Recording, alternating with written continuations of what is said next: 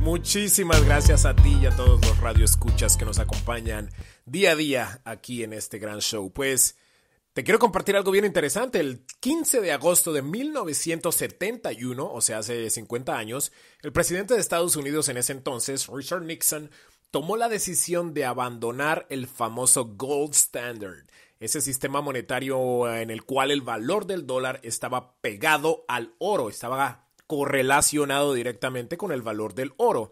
Eso le daba mucha estabilidad al dólar y, pues evitaba la manipulación bancaria y gubernamental de la moneda que, vemos hoy, lamentablemente. Bueno, pues 50 años después de esta decisión, eh, vemos que el dólar eh, ha caído muchísimo en valor, se ha devaluado, la compensación salarial por productividad ha caído más de un 130%.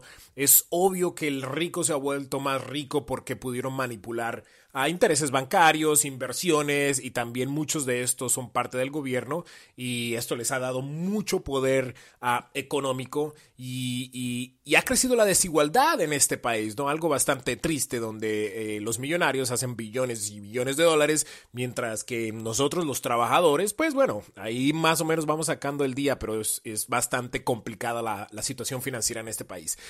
En 1971, una casa tenía un costo promedio de 25.200 dólares, así es, 25.200.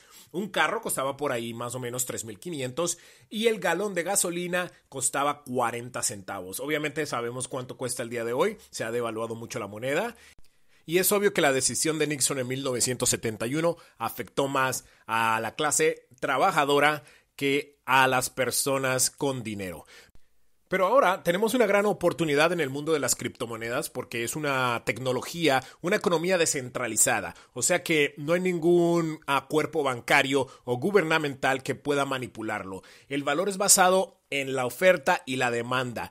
Y aunque sí hay mucha volatilidad en esta moneda, creo que es una gran oportunidad para ver cómo este tipo de criptomonedas pueden interactuar con el dólar, otras monedas fiat como el peso o el euro y, ver cómo nosotros nos podemos apoyar de esta nueva tecnología para poder mejorar nuestra economía. Yo no les estoy dando ningún consejo financiero, pero sí la verdad les aconsejo que se mantengan informados porque esta tecnología y estas monedas están aquí para quedarse y van a causar una revolución muy muy importante y todos tenemos que saber qué es lo que está sucediendo. Y esto es lo que hacemos aquí en este segmento informativo. Yo soy Yaro Celis. Pueden aprender más en aprendeconyaro.com, aprendeconyaro.com y me pueden enviar un mensaje de texto al 323-977-9276. 323-977-9276. Gracias. Hasta la próxima.